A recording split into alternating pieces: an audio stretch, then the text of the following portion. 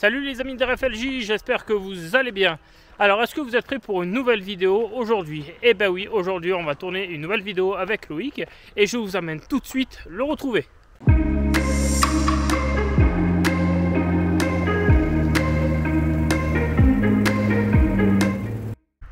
Et oui, pour cette nouvelle vidéo aujourd'hui, je vous propose d'aller à la rencontre d'un Ford Ranger. Alors pas n'importe quel Ranger, c'est un Ranger Raptor. Alors, savais-tu, euh, mon petit René, qu'il y a eu quatre générations de Ford Ranger? Quatre? Aujourd'hui- Voilà, quatre. Aujourd'hui, on est en présence du troisième génération. Vous le savez tous, Ford est un constructeur américain, mais ce Ford Ranger n'est pas vraiment un véhicule américain, puisqu'il a été proposé, enfin créé d'ailleurs, par Ford Australie et dévoilé au salon de Sydney en 2010. Il a été introduit aux États-Unis seulement en 2019, soit à peu près 8 ans, 7-8 ans après sa commercialisation, parce qu'il a été commercialisé à partir de 2012. Vous me direz pourquoi il n'a pas été créé euh, aux États-Unis? Tout simplement parce que, euh, et pour y avoir été, je peux vous garantir que ce pick-up, peut paraître gros pour nous Français, mais aux États-Unis, c'est vraiment tout petit. Et c'est une Twingo Voilà, c'est vraiment extrêmement petit. Alors il y a beaucoup de pick-up euh, aux États-Unis, notamment en Californie, etc. Euh, mais euh, la plupart du temps, c'est des F-150 minimum, donc beaucoup plus gros que ce Ranger. Et Oui, comme vous le savez, comme vous avez lu, c'est un euh, Ford Ranger Raptor. Raptor, qu'est-ce que c'est? Eh bien, on va vous l'expliquer en faisant le tour du véhicule avec vous. Allez, c'est parti mon frérot, descends de C'est là parti Alors, avant de continuer cette vidéo, deux choses à vous dire. Deux La- choses, hein. la pas une, deux. C'est que c'était une vidéo qui était assez imprévue aujourd'hui. Pour tout vous dire, on devait filmer une Renault 4 aujourd'hui. Qui doit tenir dans la benne. Voilà, Euh, ouais, au moins. Ouais, voilà. Alors, on devait filmer une Renault 4 et faire un comparo avec la Citroën Diane, qui était un petit peu sa concurrente de l'époque. Ne vous inquiétez pas, c'est une vidéo qui sortira plus tard sur la chaîne, mais aujourd'hui la R4 n'était finalement pas disponible. Du coup, on a eu ce Ford Ranger. Alors, euh, on l'a eu au dernier moment, euh, du coup, on n'a pas pu vraiment préparer notre sujet parfaitement. Donc voilà, s'il y a des choses qu'on oublie, qu'on manque, qu'on n'est pas forcément très complet sur les informations de ce Ford Ranger, bah, excusez-nous. Sur la composition des arbres de Voilà. transmission, etc. Le nom, gna gna gna. Voilà, là, on Voilà. fait la vidéo un peu au quiproquo. Donc voilà, mais on va quand même remercier le garage qui nous l'a prêté. Voilà, donc on va remercier le garage Albert Autodigne. Donc vous pouvez avoir les coordonnées, le numéro de téléphone ici, qui a l'amabilité, comme le Ford Mustang Mach-E GT euh, il y a quelques semaines, de nous prêter ce véhicule. Voilà, ou la Fiat 124 Ou La Sport. Fiat 124 Sport et puis également la Renault 4 qui devait être du coup euh, de ce garage mais ça viendra comme je vous l'ai dit un peu plus tard. Donc Soyez patient. à Albert Auto, garage à Digne, garage à Perruy, vous connaissez la chanson maintenant, je crois que vous commencez à être rodé. Les infos sont dans la description. Voilà. C'est parti pour la suite de la présentation de ce Ford Ranger. Allez, suivez-nous. Alors, ce Ford Ranger est donc dans une finition Raptor. En quoi correspond cette finition? Ben, On va y venir. Avant, je vais vous parler de cet exemplaire-là. On va parler de la motorisation. Donc, c'est un euh, 2 litres diesel, 4 cylindres en ligne. Désolé pour euh, les V8 et les V6. EcoBoost. EcoBoost, euh, un truc euh, du genre. Et il fait 213 chevaux, 500 Nm de couple. Bon, le couple est quand même assez euh, intéressant. Ben, sur ces engins-là, il vaut mieux, hein, quand même. Ouais, c'est clair, surtout quand on voit la monte de pneus, on va y venir après, mais c'est quand même, euh, voilà, on, on sent que c'est vraiment euh, un engin de franchissement. Pour la VMAX, 170 km/h, bon, c'est pas terrible. Faut s'y attendre, faut s'y voilà, attendre. C'est Voilà. pas le genre de voiture qu'on utilise pour faire des go fast. Si on veut ça, bah, chez Ford, on a des Mustang et Mustang Mach-E. Ouais, mais il faut pas aller loin. Voilà, on a la Focus RS, donc je pense qu'il y a d'autres modèles chez Ford intéressants pour les VMAX. Euh, le 0 à 100, 10 secondes. Bon, là aussi, c'est pas un véhicule qui est fait pour la Non. vitesse, donc euh, on va lui pardonner euh, ce, ce petit détail. Remarquons que c'est un chiffre rond. Exactement. C'est pour ça que je l'ai retenu d'ailleurs. Voilà. Et je crois que pour la conso mixte, on est sur du 9 litres 8. Donc là, on vous parle d'une conso urbaine, extra-urbaine, sans Ouais. compter autoroute, franchissement, etc. Ne croyez pas qu'il fait 9 litres en franchissement. Non, non, Voilà. non, 9 litres 8, euh, comme je l'ai précisé, du coup, c'est pour du mix. Alors, viens, mon petit, mon petit René, on va juste parler d'un truc, puisque cette motorisation pour les euh, écolos, on va faire un petit coucou à eux. C'est un Euro 6, donc du coup, on a la présence d'AdBlue avec d'ailleurs le cristaux. euh, qui- Voilà, ça, ça veut dire que ben, il a été un peu versé comme un cochon. Ouais, c'est clair. Voilà. non, mais ça, c'est pas que ça a été versé comme un cochon, mais c'est vrai que moi, pour l'utiliser, dans les cars, euh, c'est vrai que des fois ça déborde un petit peu, etc. Voilà, donc on a la présence d'AdBlue. donc moteur euh, diesel, donc on recharge ici. Donc on rappelle, un 2 litres EcoBoost de 213 chevaux. Et diesel. Diesel. Alors, maintenant, on va parler un petit peu de ce qu'est un Raptor. Alors, comme vous l'avez compris, le Raptor n'est pas vraiment une version sportive, c'est surtout dans sa finition que ça va être intéressant. Alors, on va euh, pouvoir observer donc d'abord euh, la carrosserie extérieure sur ce véhicule avec des ailes élargies qui sont typiques au Raptor. Voilà, hein, regardez, comme vous pouvez le voir. Voilà, nous avons un élargissement d'aile noire voilà, qui euh, souligne vraiment l'élargissement de ce véhicule.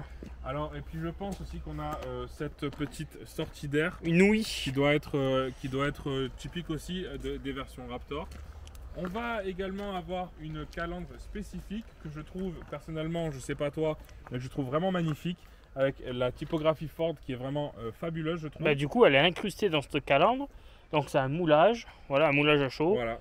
Donc, Bah, qui est sympa, hein. Je trouve que c'est vraiment très très beau. Bah, ça lui donne un côté vraiment euh, Raptor, énervé. Ouais, ouais, hein, euh. On retrouve ça aussi sur les F-150, donc euh, ça, là on a vraiment un côté américain. Euh, ensuite, qu'est-ce qu'on va avoir d'autre? Bon, on va avoir le petit sticker Raptor qui va euh, se euh, présenter sur les ailes, donc de part et d'autre. Euh, le Voilà. De toute façon, il y a le stickers et euh, la typographie euh, incrustée du coup sur la malle arrière. Voilà, après voilà. Donc c'est pas un F-150 Raptor non plus, c'est un petit Ranger. Oui, c'est.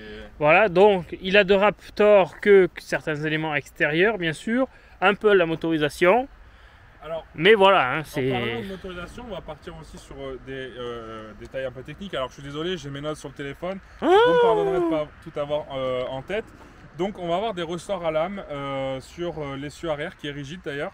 Et ressort à lame Fox Racing. Donc on sent un petit peu le côté VTT, le côté motocross, donc du coup qui va bien à ce, à ce véhicule. Ensuite on a un système de gestion de terrain. Alors euh, ça René tout à l'heure tu nous le montreras parce que tu l'as découvert tout à l'heure en essayant le véhicule. Eh oui, Donc on va avoir euh, le mode normal, le mode sport, le mode neige, le mode euh, sable, gravier, euh, herbe, sable, Voilà. boue et le dernier, enfin on a rocheux et on a aussi un qu'on ne sait pas ce que ça veut dire. Alors dites-nous en commentaire euh, si vous le savez, c'est le mode Baja. Alors euh, désolé, on est peut-être inclus, peut-être que c'est... ben moi ça me fait penser le mode Baja un peu au sable, un peu au Mexique, euh, tu vois. Ouais, je dirais, ouais, peut-être les, Buggy. peut-être les dunes vers Dubaï, des trucs comme ça, je sais pas. Bon, Voilà. Dites-nous en commentaire. Euh, et puis par contre, petit désavantage qu'il y a sur le Raptor, c'est qu'on passe sur une capacité de remorquage qui est de base sur le Ranger à 3 tonnes 5. Là, on est sur du 2 tonnes 5. Donc on perd une tonne quand même. C'est c'est quand même pas mal, mais une tonne, selon l'utilisation que vous allez avoir du véhicule, bah, ça peut être euh, préjudiciable. Et on sait pourquoi euh, on perd la tonne? Non, j'ai eu les données comme ça, mais j'en sais pas plus. Donc euh, voilà. Et là il a quand même, dans, dans la vidéo, il a quand même une gueule. Franchement, c'est un très beau véhicule. Maintenant, on a parlé un petit peu des, des- des données techniques. On parlera, on reviendra un peu sur la finition Raptor lorsqu'on passera à l'intérieur du véhicule, Qui est sympa d'ailleurs. hein. qui est très sympa, et- exactement. Euh, mais ce qui m'intéresse là, c'est qu'on parle un petit peu maintenant de nos ressentis euh, et de faire le tour. Alors d'ailleurs, on n'a pas, mar- on n'a pas fait voir euh, du coup un petit détail aussi. Bon, c'est un petit peu sale, excusez-nous, vu que le véhicule n'était pas prévu de tournage aujourd'hui. Après c'est un véhicule pour aller dans la terre, dans la boue. Donc, il est dans son mode. Alors sur les marchepieds, on voit aussi c'est incrusté Raptor. Ça Voilà. c'est joli, les marchepieds qui sont d'ailleurs assez proéminents. Euh, tout à l'heure, on fera l'essai quand euh, tu monteras dans le véhicule, euh, on, on fera voir un Voilà. petit peu euh, la cinématique quand on va. c'est ça. Et puis on vous montrera aussi le cœur de la bête. Alors maintenant, bon, la couleur, on n'a pas réussi à la trouver. Bon, ça a l'air d'être un, une espèce de grinardo un peu foncé. Euh, je trouve que ça lui va bien, ça fait un peu baroudeur, c'est plutôt pas mal. Ben ça fait un peu passe-partout. hein, hein, voilà donc euh, c'est assez sympa pour se cacher. On va dire. Alors maintenant, en termes de design, on a parlé de la calandre. Le pare-choc, c'est vrai qu'on peut le regarder, il est assez fin. Euh, la garde au sol est très haute. Donc Et pour le franchissement, c'est pas mal. Il est vachement quand même ovalisé comparé euh, au statut euh, quand même Ouais, américain. il, il remonte sur les, ouais, sur- voilà. sur les bords, il remonte, il laisse apparaître les pneus assez largement. On a deux crochets de remorquage sous ce petit insert en plastique euh, peint en gris. hein. C'est vraiment pas, c'est pas de l'alu ni, ni du chrome, c'est vraiment non, de la peinture. comme vous sur, pouvez le euh, voir, voilà. Il a été, il a- gros morceaux. Voilà, il a été un peu gratouillé. Là, donc vous voyez, c'est du plastique. Nous avons du coup les deux crochets à l'avant, mais on les a à l'arrière aussi. Exactement, on y viendra après. Ensuite, bah, tu peux montrer Euh, les phares qui sont très jolis avec ici donc euh, la LED.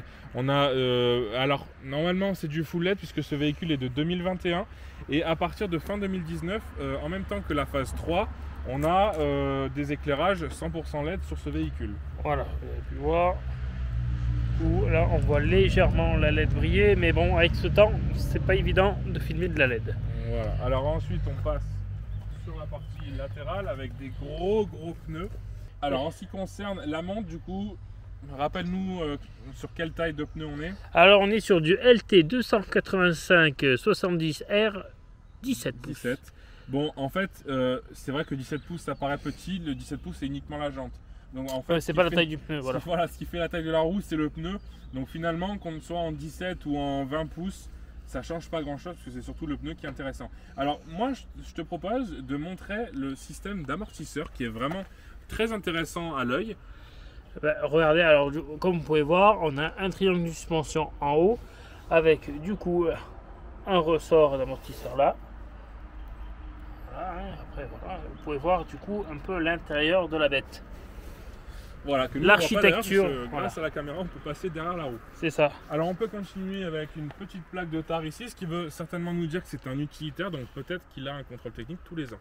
Euh, ça, je n'en sais pas plus, euh, je connais pas assez ce milieu des, des, des pick-up pour, euh, pour savoir si ce Des pick-up. Je sais qu'aux États-Unis, on appelle ça des pick-up trucks et que d'ailleurs euh, beaucoup d'entreprises se servent de gros F350, euh, gros F450 aussi, donc des, des pick-up avec deux essieux à l'arrière, parfois avec des roues jumelées aussi. Euh, Autant vous dire que celui-là est un bébé. Voilà, donc là-bas, euh, ce qu'on peut avoir ici comme fourgon ou comme petit camion, on va surtout avoir bah, des pick-up. Donc oui, on a vraiment le côté utilitaire. Les rétroviseurs, ils sont juste énormes. Euh, on pourra euh, voir aussi de l'intérieur un petit peu la, la vision, mais c'est vrai que ça fait vraiment Mais ça fait mastoc. Après, on, on voit que c'est surtout euh, du plastique parce que c'est un pick-up et un pick-up ça passe un peu partout. Donc il faut que ça soit solide. Voilà, et puis il faut pas non plus que ce soit des, des matières trop précieuses. euh, et il faut que ce soit aussi pas cher parce que si tu casses un rétro, ben t'es content de pas avoir un rétro qui coûte 1000 euros. Mais D'ailleurs, tout à l'heure, on se demandait si euh, les Raptors ou certains engins, enfin, je vais appeler ça engins hein, de ce type, avaient des peintures spécialisées pour le- la résistance aux branches et aux chocs. Alors surtout là, hein, au niveau euh, euh, d'ici, quand tu as, du chargement, c'est vrai que cette peinture, elle est un peu exposée. Voilà. Donc c'est vrai que euh, peut-être que ce sont des, des vernis ou, ou des peintures un peu plus renforcées que la moyenne. Alors, on va continuer donc là- maintenant à l'arrière. Les feux qui sont assez euh, classiques, qui font très utilitaires. hein. C'est vrai qu'il faut Ben, ça, fait, ça fait utilitaire et on voit quand même qu'ils sont vachement renfoncés dans l'aile quand même. hein. Ouais, ouais, bah après ça c'est dû aux, aux- ailes élargies du Raptor, hein, j'imagine. Que du coup, euh, le, le- le phare, c'est vrai qu'il fait euh, bien en- ancré Voilà, de toute façon, ils ont euh, euh, vraiment fait la différence entre les trois feux. Voilà, hein, c'est. Ensuite, bah, on a toute la partie arrière. Donc là, bah, c'est pas vraiment ni un coffre ni un haillon. Bah, si, c'est un haillon, mais c'est un haillon de pick-up. Euh, du coup, on va vous détailler après la benne, enfin rapidement, parce qu'il n'y a pas grand chose à voir. Mais du coup, euh, attends, je te propose d'abord qu'on leur montre euh, toute la face arrière avec le gros lo- logo Ford qui est très joli. Bon, le logo Ford, de toute façon, il est Mais- magnifique, de toute façon, euh, si on sait pas que c'est un Ford, on ne sait plus celui-là. hein. c'est clair. Donc, Ranger Raptor, comme tu l'as montré euh, tout à l'heure. Avec un bel attelage. Voilà, l'attelage, le pare-choc ici pour pouvoir monter plus facilement. Et puis comme Les tu deux crochets. à l'avant, les deux crochets qui sont sur ce qui m'a l'air d'être une barre assez renforcée. Donc j'imagine que c'est Bah, c'est l'attelage. Hein. voilà, c'est dû à l'attelage. Et puis l'autre côté, bon bah. Bah, c'est identiquement le même. hein. Alors on va maintenant passer à la benne. Donc toujours ce- cette séparation entre la cabine et la benne. Alors à noter d'ailleurs que ce Ranger est une euh, twin cab, je crois que ça s'appelle. Oui, c'est ça, ça veut Euh, dire qu'il a une partie habitacle et une partie benne. Euh, voilà, et puis il a aussi, euh, donc du coup, euh, par, par exemple, des fois on peut avoir des pick-up avec juste la partie avant. Là aussi, on, va, on le verra tout à l'heure, mais on a une partie arrière pour les- des passagers. Voilà, donc c'est une 5 places. Ensuite, ici, donc dans cette, cette, benne, quand on y arrive, donc d'ailleurs, on a la lunette arrière qui est euh, vraiment droite. Et, puis Et ici, celle-là, elle est, elle est pas rabattable. hein. Sur certains euh, pick-up, je ouais, sais qu'elle elle est descend. pas rabattable sur celui-ci. C'est vrai qu'elle, euh, ouais, c'est vrai que c'est une vitre électrique souvent qui, qui range. euh, qui On range voit ça dans le- les vieux breaks américains des fois. Exact, exact, exact. Alors ici on a ce spoiler euh, qui vient habiller un petit peu euh, l'arrière de cette benne, mais qui vient surtout euh, loger, pour pas que ce soit choquant, l'enrouleur.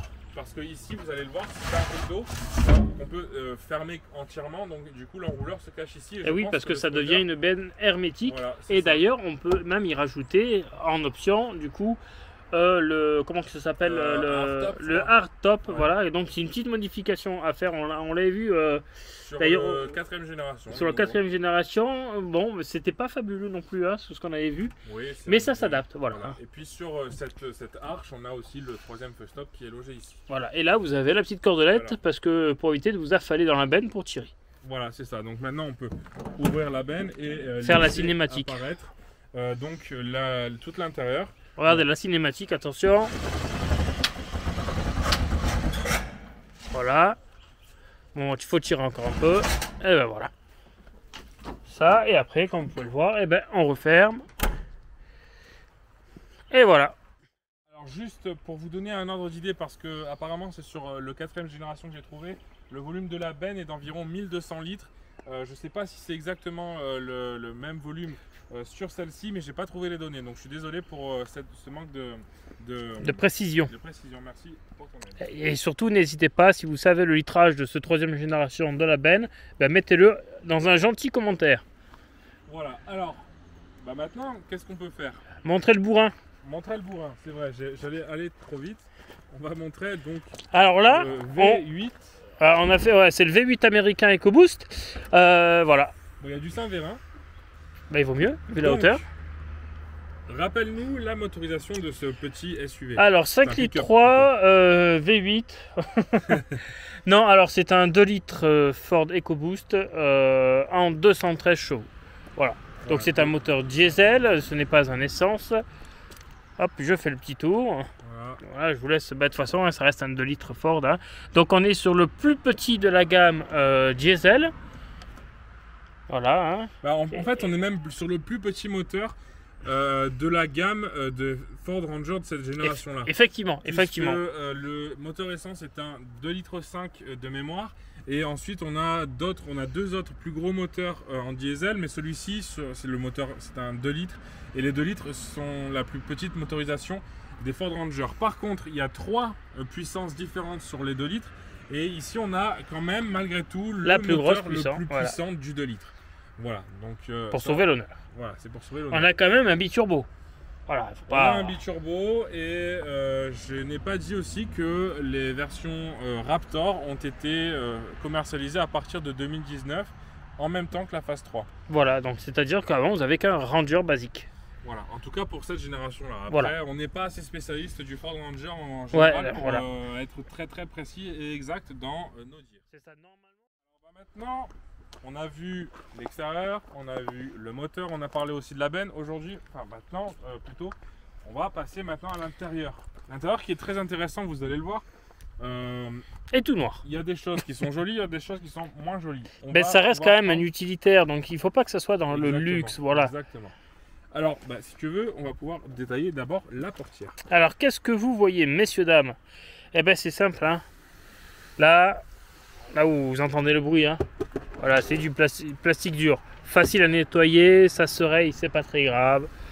Voilà, c'est fait exprès, c'est un utilitaire. Là, nous avons une poignée du coup euh, d'ouverture. Alors on croirait que c'est du chrome, hein, mais non, non, non, c'est du plastique. Voilà. Les boutons euh, de fermeture et d'ou- euh, ouais, de fermeture, on va dire euh, Ouais, verrouillage. verrouillage, ouais. Merci. Voilà, après si on descend, ben, en fait on reste à part là sur du simili Ouais, cuir. Une espèce de simili cuir pour la coudoir Voilà, également. là comme vous pouvez voir, du coup on a, j'allais Surpiqûre dire, j'allais dire une superbe surpiqûre bleue. Non, on a de la su- sur piqûre bleue, mais par contre c'est un beau bleu Voilà. et vous le retrouverez plus, un peu plus en plus, détail dans voilà. la cabine tout à l'heure. Donc là on reste sur du plastique euh, peint, un peu gris mat, comme la finition un peu de la peinture, un peu plus mat. Là du coup on a du plastique dur, du plastique dur, du rangement, l'eau-parleur. Voilà, on reste sur du coup sur une finition qui est euh, basique, qui est facile à nettoyer, parce que c'est fait pour aller un peu dans des endroits cracra. Puis voilà. hein. Allez, et si on passait un peu à l'intérieur? Voilà l'intérieur donc euh, là tu montres les sièges, les sièges je les trouve très jolis. Alors ils sont en réglage électrique et puis on retrouve Ouais. plusieurs matières sur ces sièges. Bon la garniture, l'enveloppement, euh, enveloppante est en plastique, mais Comme le reste généralement, du siège, voilà, on va avoir ici de l'Alcantara. Euh, en- ensuite, bah, du simili-cuir, j'imagine que c'est pas du vrai cuir, quoique euh, ça a l'air quand même de bonne qualité. On a ici la broderie Raptor, Raptor, qui est gris et blanche, très ouais. jolie. Et puis le siège qui a bon, d'abord une belle forme, puisque ça remonte ici euh, sur la tête Mais il a quand même une belle architecture quand même. il, a Il, une est très belle dessiné. architecture, euh, même l'intérieur du siège est bien dessiné avec euh, des coutures, etc. qui sont euh, assez jolies. Mais moi, ce que j'aime beaucoup, ce qui fait ressortir la, la beauté de, de- de ce siège, euh, c'est les surpiqûres bleues qui ont l'air d'être typiques aux versions Raptor. Alors, on l'a retrouvé sur les accoudoirs des portières, mais on le retrouve un petit peu partout dans l'habitacle. Alors ça, on va pouvoir vous le détailler une fois qu'on sera à l'intérieur. Mais là, déjà, vous pouvez avoir un beau tour d'horizon. Voilà. Après, voilà, on a même du coup sur le pommeau euh, de frein à main, sur le levier de boîte automatique, etc. etc. Alors maintenant, on va aller à l'arrière. Donc là, une porte Bien rectangulaire. voilà, bien a pas de souci. Et puis la- l'arrière, donc euh, on va pouvoir vous le détailler. Alors, ce qu'il y a de, sympa, c'est que la banquette arrière euh, est dans le même dessin que les sièges à l'avant. On peut reconnaître euh, les, mêmes formes sur les assises, sur le dossier, les mêmes surpiqûres, les mêmes euh, coloris, parce qu'on n'a pas parlé aussi à l'avant, on a cette petite Oui, bande grise, bande grise de chaque côté du voilà, siège. qui est, elle aussi est en cuir. Donc là, elle est de chaque côté de la banquette. hein, Ils vont pas s'amuser. Ils se sont pas amusés à faire quatre bandes. Et puis les surpiqûres qui sont vraiment omniprésentes hein, sur euh, la banquette. euh, donc, Mais euh, ça- du moi, je dirais que ça souligne quand même, euh, parce que c'est vachement sombre, ça souligne quand même l'allure du Ouais. véhicule et euh, ça lui donne un petit effet qui est assez, assez sympa, un éclaircissement dans l'habitacle. Donc là, hop là, nous avons bah, typiquement hein, deux portes gobelets avec un accoudoir en surpiqûre d'ailleurs. hein. Et euh, du coup, ben, on n'a pas le- la trappe à ski parce qu'il y a la benne derrière. Là, Alors- Ah, vas-y, vas-y. ah, alors là, comme euh, vous pouvez voir, du coup, on a euh, un accumulateur en 230 volts et 150 watts. Voilà. hein. Voilà. Ça, c'est pour brancher des choses qui sont un peu plus grosses. Et du coup, un allume-cigare en 12 volts. Maintenant, je te laisse la parole. Bah, juste euh, pour parler aussi de l'intérieur de porte qui est le même qu'à l'avant, on a les mêmes, euh, les, les mêmes euh, Voilà, hein. matériaux qui sont utilisés, euh, la même qualité de finition, etc. Mais certes pas au beau fixe, euh, mais c'est normal, comme on l'a dit, c'est l'utilitaire. Ça reste de l'utilitaire. Tu vas me filmer en train de m'installer à l'arrière, voir un petit peu. euh, Allez, je prends du recul. On se sent. Alors, Attends, je prends vraiment du recul. Attends, je vais me prendre les ronds dans le cul. d'habitude, c'est René qui essaye. Alors, René, rappelle-nous ta taille. Je fais un 95 à peu près. euh, T'enlèves un centimètre, 1,75. Ouais, il fait 1m75. Donc d'habitude c'est René qui essaye. Là aujourd'hui c'est moi qui vais l'essayer. Donc vous connaissez pas ma taille qui est environ d'un mètre 83. Donc on va pouvoir voir si je me sens bien. Alors, regarde, Est-ce que 8 cm change le cours d'une vie? On va bien voir ça. Allez c'est parti. Bon déjà le marchepied facilite beaucoup. Et il craque pas. véhicule. Il craque pas. Voilà. Et là on a juste à se mettre comme ça. Alors le siège est réglé à ta taille. Donc quand même 1m75 c'est pas petit non plus. Et vu que là, je me, normale. je me suis réglé en 30 kg parce qu'on est en auto. hein. Ouais, et j'ai bien vu que tu étais un peu euh, Ouais. reculé par rapport à l'habitude. Mais franchement, je me sens très bien. La garde au toit est euh, très euh, large. La- le- L'espace aux épaules, par contre, je pense qu'à trois personnes, C'est un peu juste. c'est un peu, li- un peu limite. Rappelons les dimensions un peu de la bête en largeur. On est sur du 2 mètres en Je largeur extérieure. on a trouvé 2 mètres, euh, ça me paraît un peu beaucoup. Mais, Bah, 2 euh, mètres euh, en étant. un- Après, c'est vrai qu'il y a quand même vachement de carrosserie. hein. De chaque côté, on doit avoir une bonne quinzaine de centimètres. Donc ça nous laisse à peu près un gros mètre 70 intérieur sans le- les airbags, etc. Bon, Alors maintenant, je ferme la portière. Franchement, franchement, c'est vraiment très agréable. L'impression qu'on a, euh, bon, dans la voiture, ça reste une voiture classique, mais la hauteur et puis l'architecture de la vitre aussi, euh, on se sent vraiment très à l'aise. là, il faudrait juste mettre un petit boudin pour éviter qu'on se crème la main. Ça c'est clair. Mais sinon, ouais, non, franchement. euh, Est-ce que tu es, bien- habitabilité, t'es bien assis? Très très bien. Franchement, Voilà. euh, après avoir sur des longs trajets, mais je me sens mieux que dans certaines berlines, c'est dire. Voilà, hein, de toute façon, on reste quand même dans. Ah, il y a la sécurité enfant Bah alors, monsieur, on a besoin de la tétine Bienvenue à bord côté passager de ce Ford Ranger Raptor. Alors là, regardez. Attendez, voilà, que la caméra se mette petit peu. Voilà, ah bah tiens, avec ma main, on y voit mieux. Ford Performance. Donc là, c'est un joli seuil de porte qui est assez sympa. Voilà, ah bah, donc du coup, hein, bah, on a le même. euh. Et à noter qu'on a un verrouillage aussi passager. Ouais, sur le Dodge Durango, on avait vu la même chose aussi il y a quelques semaines. Les Américains ont de bonnes idées. C'est vrai, c'est vrai. Et sur le casse-portage de mes parents, qu'on verra peut-être un jour, je pense, sur la chaîne, on a aussi une touche euh, côté euh, passager. Alors, est-ce que. Allez les amis, venez Alors là, on- hein, vu que c'est haut, je suis Voilà. petit sur pattes. hein, on se met en POV. Avoue que le marchepied, c'est vraiment très agréable Oh, pour accé- accéder ouais. au véhicule. Parce que au lieu de te jeter dans la voiture, là tu montes vraiment littéralement dans la voiture. Alors maintenant, on va pouvoir parler de cette blanche de bord, bon, qui a une forme assez forte, on va dire, euh, des, des années 2010. Euh, donc là, je mets le contact et on a une petite cinématique sur l'écran du milieu. Qui est gâché avec, euh, par. voilà, qui est gâché par tous les éléments de sécurité. Et on a la, la cinématique ici aussi, Raptor Ford Performance. Donc ça, euh, bon, je trouve que ce sont des petits détails qui sont euh, assez en plus, sympathiques. il y a la calandre en nid d'abeille bleue qui se s'est mis. Ouais, c'est clair. Alors, euh, l'interface est jolie. Euh, je trouve que les animations sont bien faites. Par contre, une fois qu'on est vraiment sur les menus, je trouve que c'est un peu vieillot. Ben, c'est un peu simpliste. Je pense Ouais. qu'il n'y a pas la prise de tête. Voilà, allez, sur français. Alors, du coup, ouais, c'est vrai que c'est bon, c'est pas forcément très joli. Ça a pris un petit coup dans la tronche. Puis c'est un peu lent. J'ai pas de. Non, franchement, Non, c'est- assez fluide.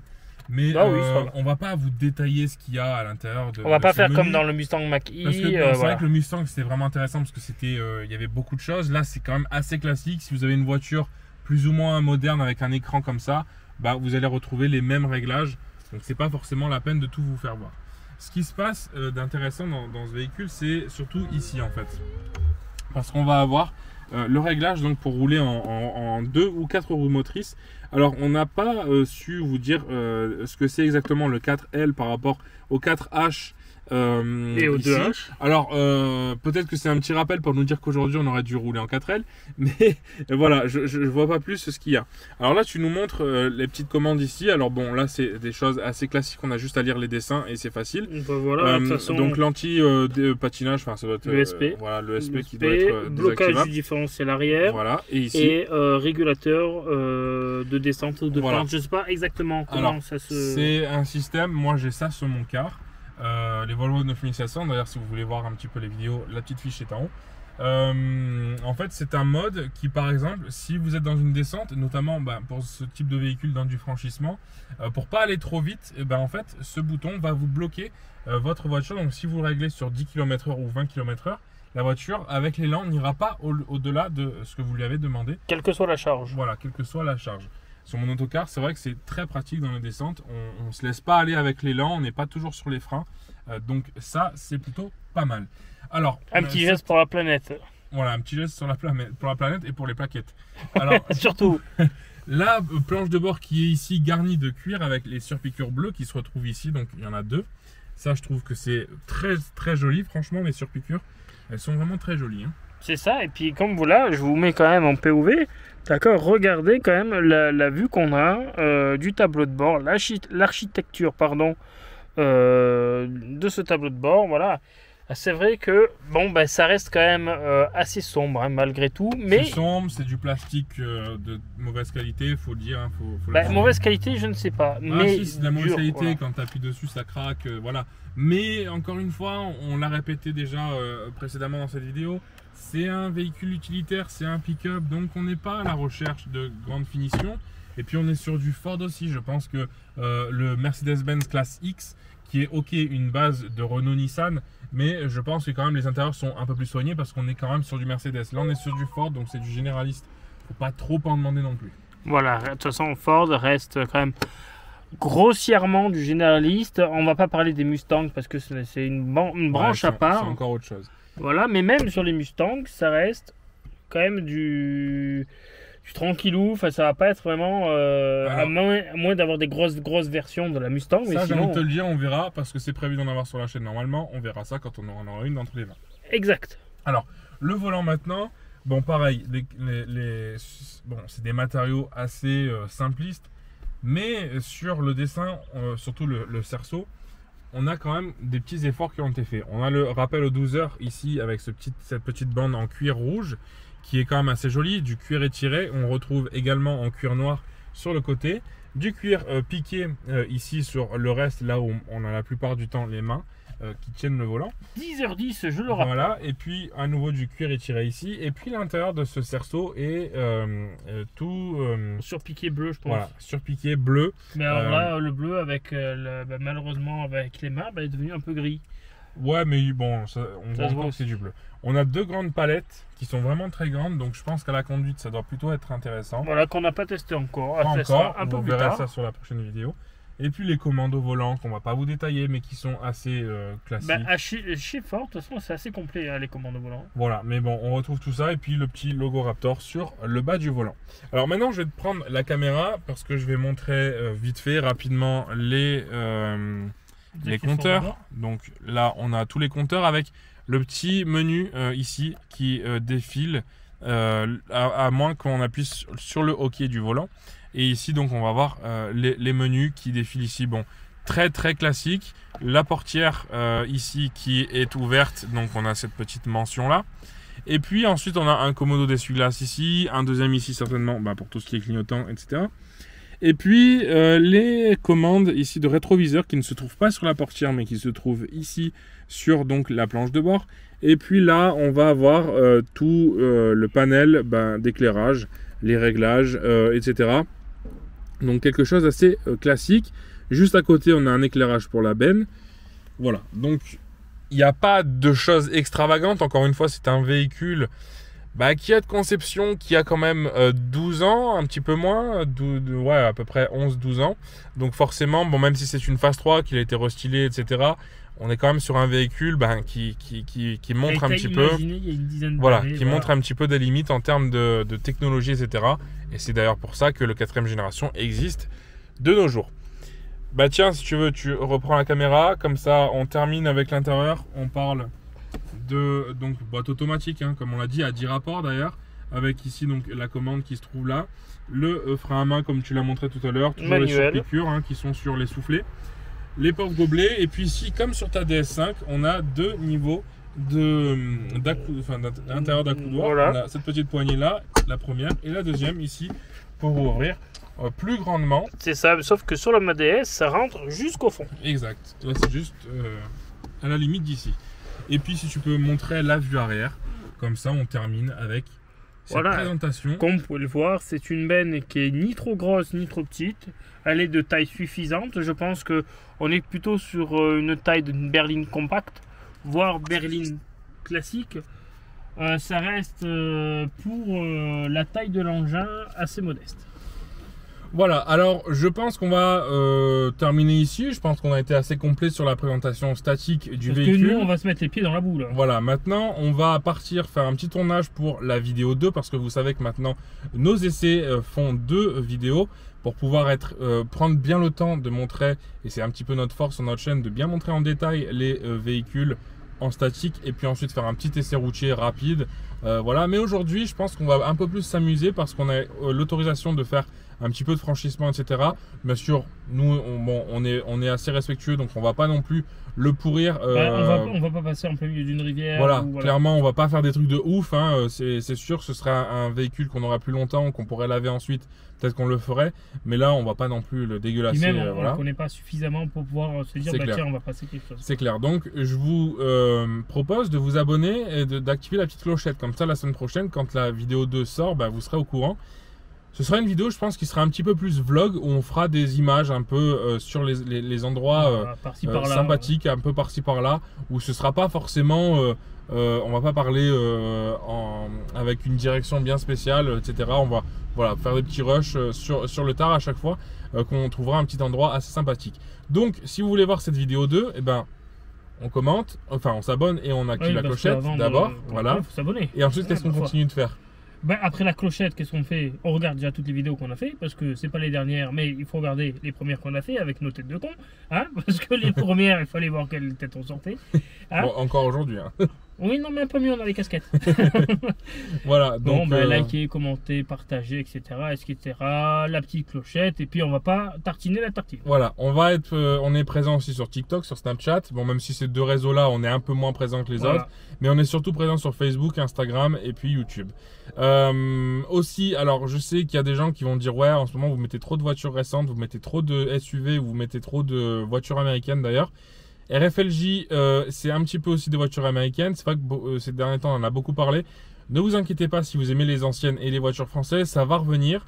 Pour ceux qui nous suivent sur Insta, peut-être, je sais pas, aujourd'hui j'ai pas posté, mais encore, mais je pense que vous avez vu la nouvelle surprise du coup euh, sur notre Insta et puis la CX de René qui normalement devrait bientôt reprendre la route. Donc tout ça on va reparler, puis bientôt je vais vous faire une petite vidéo sur la Diane et puis on fera aussi le comparo Renault 4, Citroën Diane. Ça aussi quand on pourra, on le fera. Voilà, eh ben, on se dit à la prochaine Voilà. fois. Les pieds dans la boue, portez-vous bien. Et un grand merci à Albert Auto. Ah oui, comme d'habitude. Voilà, lien dans la description pour le Facebook. Si cette voiture vous intéresse, elle est à vendre. Euh, une cinquantaine de milliers d'euros, je Voilà, crois. donc elle a- c'est un véhicule qui a très peu de kilomètres, 35 ou 40 000 36 kilomètres, 747 Voilà. km. Voilà. euh, qui a deux ans, deux ans et demi. Voilà. Voilà, euh, Donc, 50 000 euh, euros si vous avez 50K. voilà. Vous allez chez Albert Auto. Merci. Ciao, ciao. Ciao, ciao.